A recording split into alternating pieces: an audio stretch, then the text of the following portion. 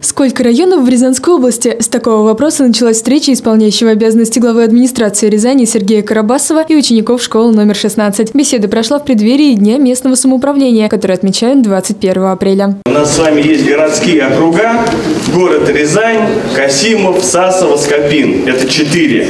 И плюс 25 э, районов. Рязанский район, Клепиковский район, Касимовский. Поэтому 29 районов. Молодец.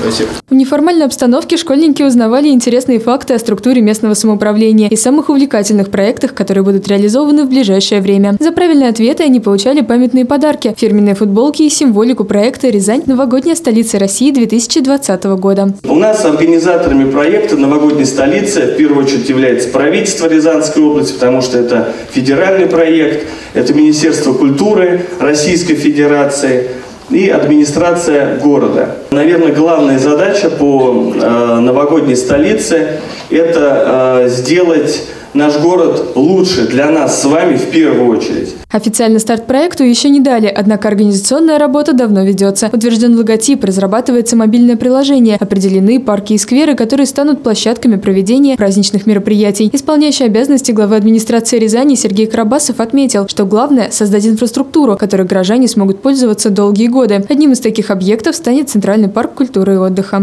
Это летний театр, который исторически у нас сейчас находился э, в таком заброшенном состоянии. Мы восстанавливаем кассы, мы восстанавливаем сцену, мы делаем амфитеатр. Э, и э, эта площадка будет благоустроена здесь. Встреча прошла в неформальной обстановке, а у школьников была возможность задать свои вопросы. Они касались самых разных тем, от благоустройства конкретных парков и стоимости проезда в общественном транспорте до биографии политика. Встреча произвела на меня огромное впечатление, и я на самом деле удивился над перспективами нашего города, а, над развитием, что у нас планируется. Данная встреча довольно интересная для меня, ну, такая необычная. То есть э, в нашу школу приехал такой важный человек. Про мэра могу сказать, что он очень хороший спикер, и у него него очень хорошо поставленная речь, ее было очень приятно слушать, соответственно. Особенно сильно школьников интересовала возможность стать волонтерами проекта «Рязань. Новогодняя столица России 2020 года». Организаторы ждут активистов после официального старта. Галина Кудряшова, Станислав Кудряшов, телекомпания «Город».